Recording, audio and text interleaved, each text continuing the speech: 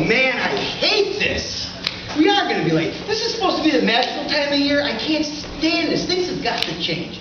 You know, next year I'm not buying Christmas gifts for anybody.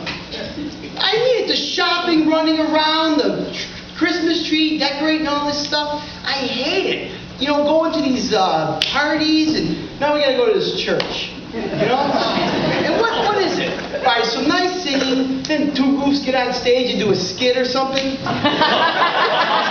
it, it just doesn't work. It's not worth going. I don't. It doesn't work. Dad, it's not magic. What's that supposed to mean? I mean, just because you show up for church once or twice a year doesn't poof make everything better. Just because you show up for Christmas doesn't give you enough peace until Easter. Uh, they just want you showing up every week so they can take your money. Dad, it has nothing to do with money. It's about being part of the family of God. Family. What's this, Olive Garden all of a sudden? just because you show up every Sunday doesn't make you family. Dad, it's more than just showing up on Sundays, okay? It's a group of people who love Jesus and want to support each other in that. It's, it's more than just Sundays. It's all during the week. There's Bible studies and prayer meetings and small groups. Families get together and they have dinner together, or they just play volleyball, or they watch the Bears game.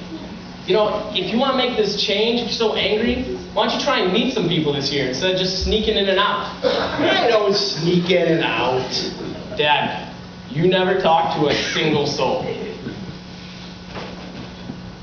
Nobody ever talks to me. That's because you're always sneaking in and out.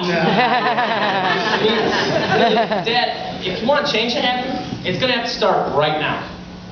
Right now. Yeah. What do you mean, right now? Well, I think we should pray. Yeah, I usually pray when we pass you, we get to church. No, I, I mean pray right now in the car. Here, Yeah, here. in front of the house, me and you, Yeah, yeah you can pray anywhere, Dad. just he- he- here in the car. Here in the car. We'll do it together. Oh, uh, okay, okay. Uh, Okay. What do you mean, how, uh, do we do, how do we do, how how do we do this? You know what? All right, I'll make it real simple. Okay?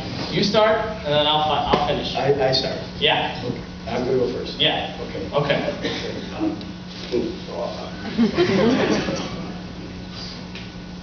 You start. Okay then. I'll start.